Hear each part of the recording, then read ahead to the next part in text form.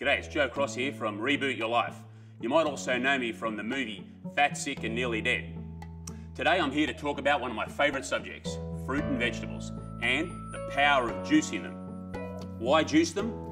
Well, just look at all of the beautiful array of fruit and vegetables we've got here. We've got captured sunlight.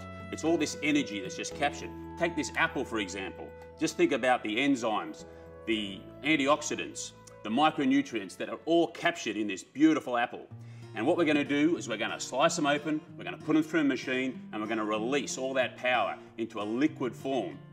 That liquid form is really the best thing about it is that it's so easily absorbed through our digestive system. You see, when you eat fruits and vegetables, that's good for you, but it takes a little bit of energy to digest them.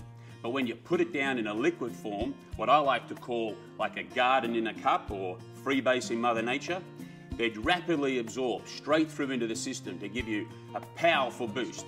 So if you think about it, all of these different fruits and vegetables, they have different compounds and different benefits to our system. Or everything in front of us here today is high in potassium, magnesium, calcium, high in acid folic and iron. All of those micronutrients and and those enzymes are terrific for healing and preventing disease.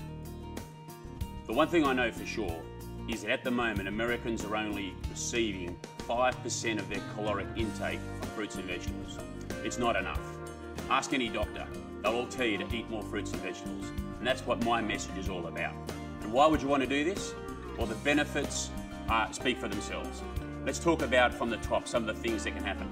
Number one, if you start juicing and eating more fruits and vegetables, you're going to think clearer. You're going to see the world better. You're going to have less headaches. You're to have more energy. How about your joints? Your joints are going to work a lot better. You're going to get the, these powers of these fruits and vegetables are so anti-inflammatory, it's not funny. It's like I'm testament to that. I used to have trouble getting out of bed in the morning. I'd be aching, I'd be sore. Now I jump out and can't wait to attack the day. In terms of sleep, I've never slept better since I started increasing my consumption of fruits and vegetables.